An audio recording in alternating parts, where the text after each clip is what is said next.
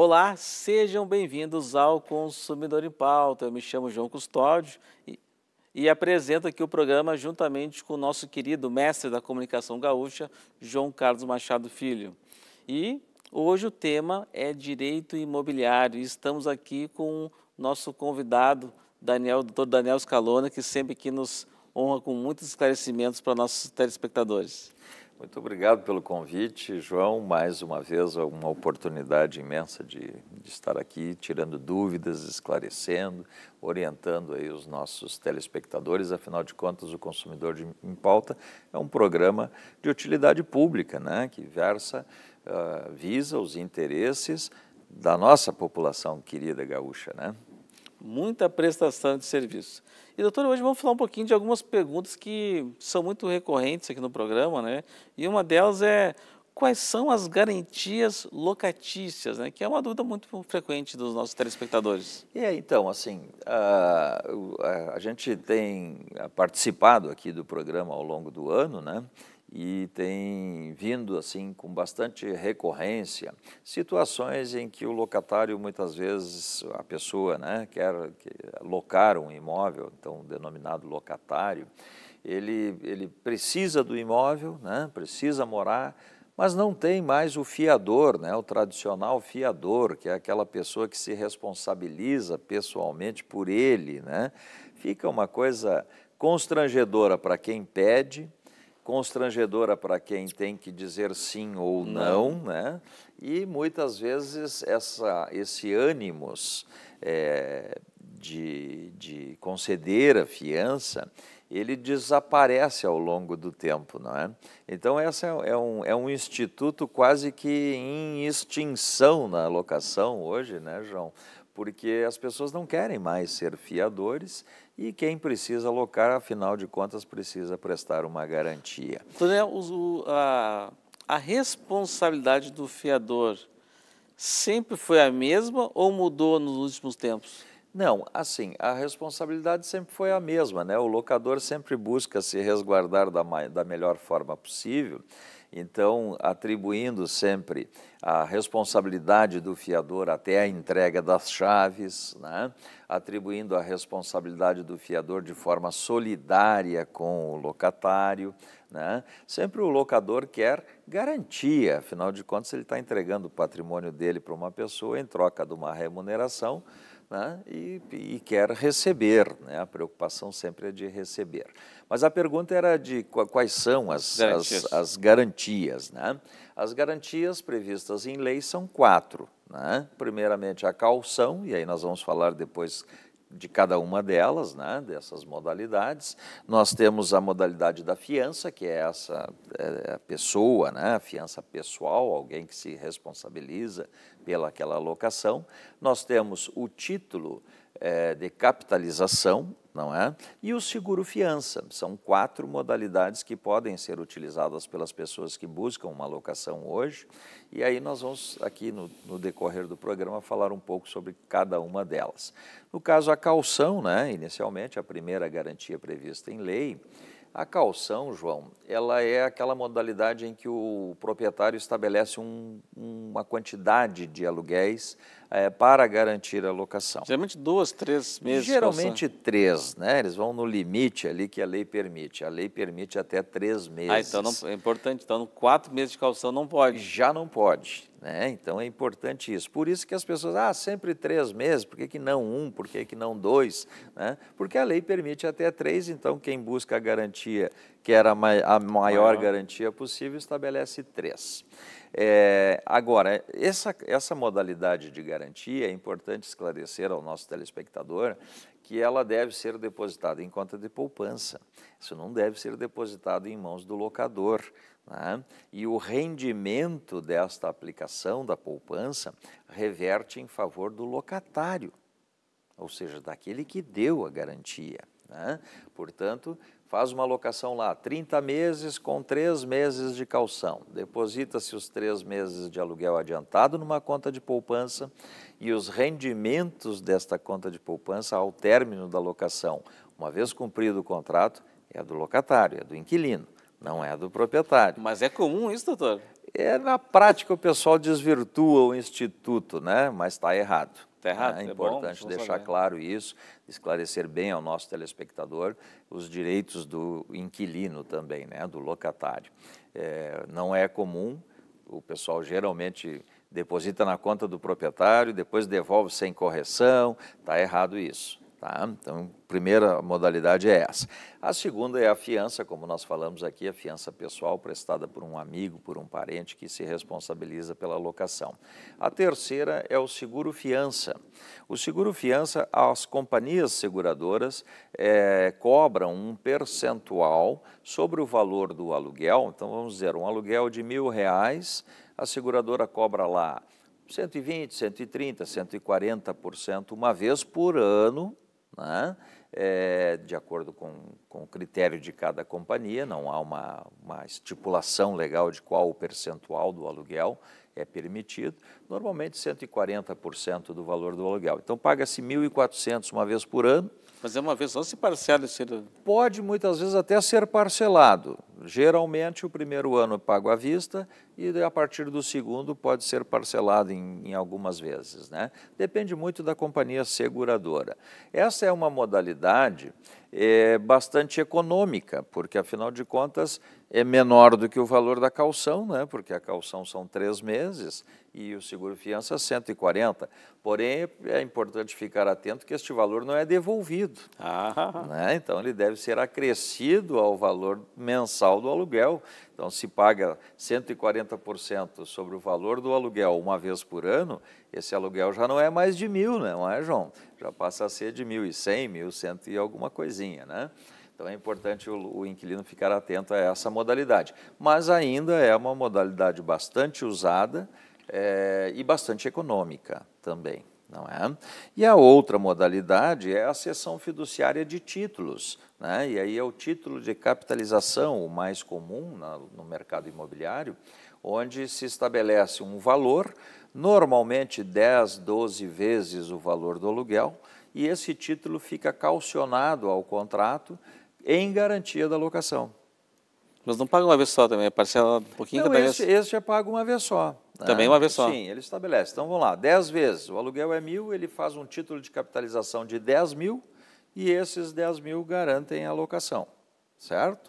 O que, que acontece? Cumprido o contrato, ao término da locação, o locatário, o inquilino, recebe de volta esse título de capitalização com os rendimentos, da mesma forma que a poupança. Porém, o rendimento da capitalização é sempre um pouquinho melhor do que a, do que a poupança. Né? Então, é, são essas as modalidades né, de, de, garantia da locação e o inquilino ele deve buscar aquela que melhor se, se encaixa na sua realidade é, financeira. É uma pergunta né? que o pessoal pode perguntar, mas qual a melhor alternativa? é, a melhor alternativa sempre é aquela que cabe no seu orçamento. Né? É, é, a mais econômica, naturalmente, é a garantia através da fiança, porque essa não tem custo nenhum, né? mas é preciso que haja confiança entre o locatário e o, e o seu fiador, digamos assim, né? mais do fiador até do que do locatário, não é, João? Doutor, e a questão do fiador e a exoneração? A questão bastante comum também aí durante o ano, muitas perguntas nos chegaram a respeito dessa questão. É, é, também sempre uma preocupação dos, dos fiadores, né? Eu posso me exonerar? Bem, o que, que é a fiança locatícia é, pessoal? É uma fiança intuito persone, ou seja, é aquela garantia que eu dou ao João porque eu confio no João, porque o João é, é uma pessoa que tem uma relação muito próxima comigo. Né? Agora, essa relação, João, ela pode desaparecer com o tempo, né? É, hoje eu confio no João porque o João é meu sócio no escritório, muitas vezes, então, né, poxa. Mas aí nós nos desentendemos por qualquer razão, já não gosto mais do João, né? E aí, agora eu sou fiador do João até quando, né? Até onde eu posso é, é, me exonerar dessa responsabilidade? pode se exonerar, a lei prevê isso, o Código Civil prevê isso, notifica-se o, o, proprietário do imóvel dizendo que não tem mais interesse na locação, né? e de comum acordo ele pode se exonerar, o locador então exige que o locatário, que o inquilino apresente um novo fiador no prazo de 30 dias, né? e aí o fiador ficaria exonerado. De comum acordo, ah, não, mas o locador não concorda com a exoneração. E normalmente eles não concordam, né, João? Normalmente o locador quer que aquela garantia permaneça mas... porque afinal né, o fiador é bom, então né, deixa assim como está, não quer, não concorda. Nessa hipótese, a responsabilidade do fiador é, permanecerá. E aí tem um conflito legislativo, porque o Código Civil fala em 60 dias a responsabilidade após a notificação, e a lei de locação fala em 120. Né? Então, na pior das hipóteses, ficará o, locator, o fiador responsável ainda pela locação é, após a notificação do proprietário por até 120 dias. Quatro meses. Quatro meses. Né? Bem, e esse assunto, ele normalmente vai parar nos tribunais quando não há consenso. Né? E o que, que decidiu o STJ a respeito do assunto? A fiança, se for prestada é, por prazo certo, e normalmente é, então uma locação residencial normalmente 30 meses, né? o fiador ficaria responsável pelos 30, 30 meses, né? em ele se exonerando, ficaria responsável até é, a entrega das chaves né? ele tentando a exoneração, ele não conseguindo amigavelmente, ele vai ficar responsável até os 30 meses, e a partir daí, quando o contrato passar a vigorar por prazo indeterminado, os efeitos da exoneração começarão a vigorar. Então, ele ficará responsável pelo prazo do contrato e, a partir dali, ele fica exonerado mas só ao término do contrato. Tem uma pergunta agora. É. Tá. E daí vamos supor que o proprietário, então, o inquilino não conseguiu um novo fiador, não conseguiu uma nova garantia, o proprietário, nesse caso, pode pedir o imóvel de volta? Pode. É, a, a, lei de locação prevê que, na hipótese de, de exoneração do fiador, o locatário deve, o inquilino deve, no prazo de 30 dias, apresentar nova garantia. Se não apresentar. Se não apresentar, o contrato poderá ser rescindido e ele poderá ser despejado, mesmo estando com o aluguel em, em dia. dia. É importante isso, né? mesmo que o aluguel esteja em dia, mas o fiador, tendo-se exonerado, o proprietário notificado o inquilino para que apresente no prazo de 30 dias, previsto em lei, uma nova garantia para aquela locação. Se não apresentar, o contrato poderá ser rescindido e o locatário, o inquilino, despejado. Bom, a conversa está muito boa, ótimos esclarecimentos, mas vamos ter que fazer um breve intervalo. Fiquem com a gente que já já voltamos.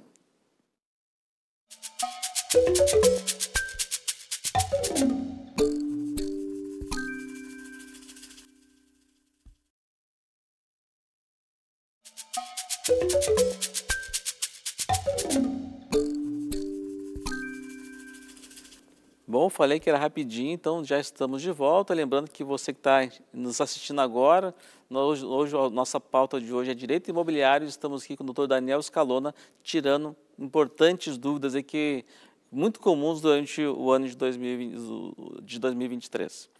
Ainda sobre a questão do bloco anterior, do doutor Daniel, sobre fiador e exoneração, Vamos supor, então, que passado o final do contrato de 30, dos 30 meses, vamos supor que o, o fiador pediu para ser exonerado e, e, o fiador, e o locatário apresentou uma garantia diferente. Ele uhum. tinha fiador e quer agora apresentar seguro-fiança, quer apresentar uma calção, quer apresentar um título de capitalização.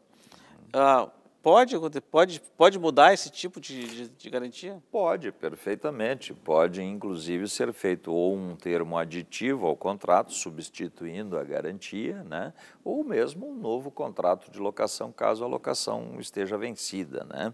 Aí fica a critério do locador. Né? Normalmente se faz um novo contrato é, é, com um novo prazo e estabelecendo a nova garantia.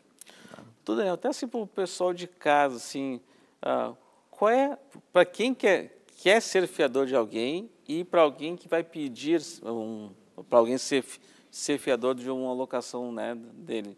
Ah, que, quais são, qual é a responsabilidade e quais são os riscos do fiador? Ele pode perder o imóvel próprio? Ele só tem um imóvel e ele pode perder esse imóvel? É, essa é sempre uma preocupação de quem presta a fiança, né? E um assunto bastante debatido, foi parar inclusive no STF, e, e a Lei 8.009 é bastante clara, né? O bem de família, ele é protegido e, e, e, perde esta proteção em determinadas circunstâncias, né? e uma delas é a fiança. Né? Então, para quem presta a fiança, é importante ficar atento a esse risco existe sim o risco da perda do único imóvel em decorrência da garantia de um contrato de locação. Né? Então, é, é, é, por isso que o fiador é um, um, a fiança pessoal é um instituto em extinção, né? cada vez menos utilizado, embora ainda seja a mais utilizada, mas sempre é uma dificuldade tanto para quem presta quanto para quem recebe a garantia, essa, essa fiança, né? É por conta desses riscos, né?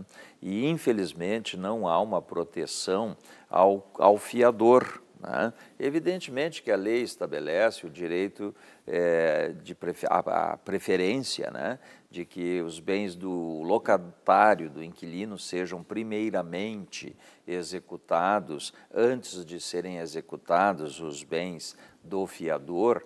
Porém, o benefício de ordem, que é isso que eu estou falando, muitas vezes 99,9% dos casos ele é renunciado no contrato de locação. Ah, o locador, o proprietário já estabelece uma cláusula no contrato de locação em que o fiador renuncia ao benefício de ordem né? e se compromete de forma solidária com o locatário é, até a entrega das chaves. Né? Então perceba que é, é um contrato literalmente de adesão, porque o, o, fiador ele não consegue negociar isso, né? Não consegue. Aí dificilmente a imobiliária vai aceitar que ele não seja solidário ou que ele possa exercer o benefício de ordem, né? É, é raríssimo isso. Tem casos em que o locador consciente da, da responsabilidade permite. Não, tá bem. A ordem. Benefício de ordem, eu vou, vou te resguardar, executamos o, o, o, o, inquilino, se não tiver bens o inquilino, então passamos para os teus. Mas é muito raro isso, né, João? Hoje, é, geralmente, o contrato prevê responsabilidade solidária e renúncia ao benefício de ordem. Então, né? a gente, se a gente pedir para alguém ser fiador essa pessoa recusar, a gente tem que entender um pouquinho por que, que, por que, que essa pessoa pode recusar, né? Com certeza, né? Com certeza. E não ficar magoado aí com o um amigo, com o um parente, porque ele se negou a prestar fiança. E quem né? vai ser fiador também tem que ter noção dessa desse risco, que, que dessa responsabilidade que ele pode estar colocando no risco, em risco o único bem de família que ele tem. Exatamente, e até mesmo avaliar com, com bastante critério a capacidade financeira do seu afiançado, né? Muitas vezes a fiança é prestada em negócios, né? Ah, eu vou alocar uma, uma loja para montar um negócio e eu preciso de um fiador, né? Aí a pessoa vai lá e diz, ah, o, o, o meu afiançado está indo bem na vida, está ampliando os negócios, está abrindo uma nova loja, vou prestar fiança. Mas os negócios podem não ir bem no meio do caminho, né? E aí a responsabilidade fica, né, João? Então é preciso avaliar bem isso. Doutor Daniel, uma questão. Vamos supor que o inquilino esteja, o locatário esteja inadimplente, uhum. né? É, quanto tempo, em média, a, a imobiliária notifica o fiador, ó, o seu, seu, seu o imóvel que o senhor é fiador está com atraso. Já estou sinalizando para o senhor que pode dar um problema. Tem algum prazo? Sim? Não, não existe um prazo previsto em lei para essa notificação. As imobiliárias normalmente, dentro do mesmo mês, já estão notificando, notificando ou ligando, pelo menos, para o fiador, dizendo, olha, o aluguel venceu no dia 5, seu inquilino não pagou, né? quero lhe deixar, o senhor tem alguma alternativa, até como forma de pressão para que o fiador exerça essa pressão sobre o, o, inquilino. Né? Não há uma previsão de quanto tempo ela deve notificar.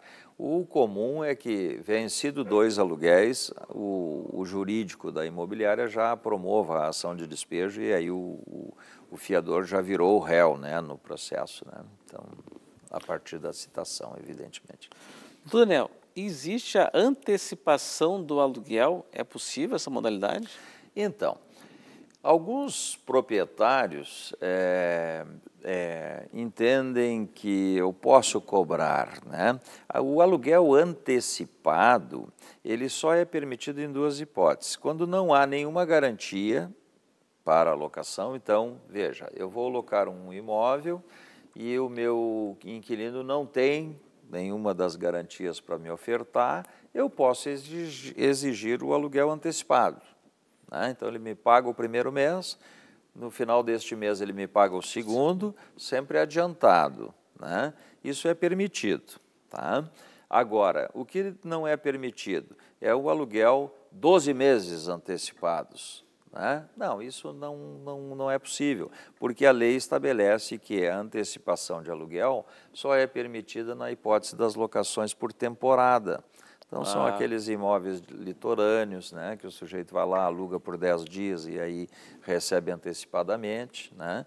E agora, recentemente, foi facultada essa possibilidade de cobrar antecipadamente, mas não assim é, tão aviltante, né? ou seja, cobrar todo o contrato de locação antecipadamente. Isso é abusivo. Né?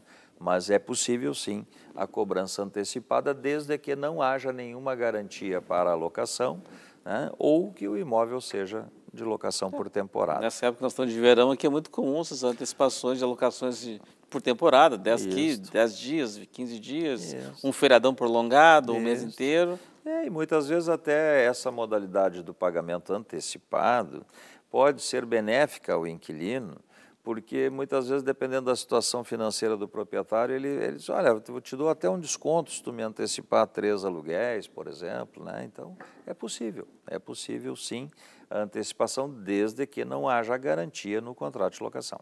Não? Não pode somar duas garantias, né? Exatamente. Então, não veja... pode ter fiador e mais calção. E mais calção, que seria uma espécie de calção o que o pagamento antecipado, né? Bom, doutor, e, e como, se, como me garantir ao locar o imóvel? Que dicas você dá importante para para quem pudesse, pudesse se garantir nessa locação? Ao proprietário, né, que é detentor do imóvel, muitas vezes fez um investimento para é, obter uma renda extra, né, muitas vezes complementação de aposentadoria, enfim, né, é, buscar sempre uma boa administradora de imóveis, uma boa imobiliária, né? é, respeitar essas questões é, previstas em lei. É, as modalidades, como eu digo, são as quatro previstas na lei de locação. Sempre a garantia por fiança é a melhor, né? tanto que é a mais comum ainda exigida pelos proprietários, né? mas é, avaliar bem o crédito de, de quem está locando né? avaliar a capacidade financeira de quem está alocando. Às vezes a pessoa ganha R$ 2.500, vai alugar um imóvel de mil. É, fica, fica difícil dessa pessoa honrar esse compromisso. Né? Geralmente é Tem é 30%, série... né? pessoal... É, geralmente, em média, o pessoal avalia 25%, 30% da renda como sendo razoável para pagamento de aluguel. Né? Mas, então, ao locador, a minha recomendação é sempre buscar uma boa administradora de imóveis e é, trabalhar dentro de uma dessas quatro modalidades de garantia. Na minha opinião, sempre a fiança é a melhor. O senhor falou em boa imobiliária. Né? Eu vejo hoje muitas imobiliárias preocupadas em locar, mas a preocupação para receber, estão muito preocupados em locar aquele imóvel, agora se estão flexibilizando um pouco mais assim, essas garantias e estão se preocupando mais em locar o imóvel. Essa preocupação eu vi que no passado era maior e hoje eu vejo uma preocupação maior em locar. Depois, se não pagar, e ainda assim, muitas imobiliárias não dão serviço jurídico. Tu tem que, tu tem que contratar um advogado teu particular para poder fazer aquela cobrança. Então, você pode falar um pouquinho mais o que é uma boa imobiliária, uma boa administradora? É. Então, quando eu me refiro a uma boa administradora, são essas administradoras que, primeiro, respeitam a lei. Né? A gente é, tem lá no nosso escritório é, muitos casos é, de ações de proprietários contra a imobiliária, por má gestão né? porque locou sem garantias, porque recebeu antecipadamente quando não podia, porque pegou a calção e não depositou. Né? Então, assim, tem uma série de, de, de, de, irregularidades que muitas vezes o administrador, naquele afã de, de locar rapidamente para demonstrar agilidade ao proprietário, né? É, acaba passando por cima e depois dando problema. E aí, quando dá problema, ele não se responsabiliza. Então, uma boa administradora é aquela que garante o aluguel ao proprietário, independente do pagamento ser feito pelo inquilino. Cada vez mais, mais, mais, cada mais vez mais raro né, e cada vez menor. Ah, antigamente garantiam três meses de aluguel, independente do pagamento do inquilino. Hoje já é um mês só. Né? Então, assim, é, buscar uma administradora que tenha um critério de aprovação do crédito e que tenha um, uma boa condição de análise deste crédito, né? enfim, buscar uma administradora séria. Existem várias no mercado que trabalham com muita competência nisso e, e basicamente isso, né, João? Observar a lei. Né, para que o administrador, agindo em nome do proprietário, não cometa nenhuma irregularidade né? porque senão o problema deixa de ser entre o proprietário e o inquilino e passa a ser entre o proprietário e a imobiliária. Temos uma imobiliária então, cobrava o IPTU do inquilino e não pagava o IPTU. Não repassava para, para o município. De quem é a responsabilidade neste caso? Do dono do imóvel. Então tá. Né? Doutor Daniel, muito obrigado pelos esclarecimentos, ótimos como sempre, e agradeço o pessoal de casa pela qualificada audiência. Um grande abraço a todos.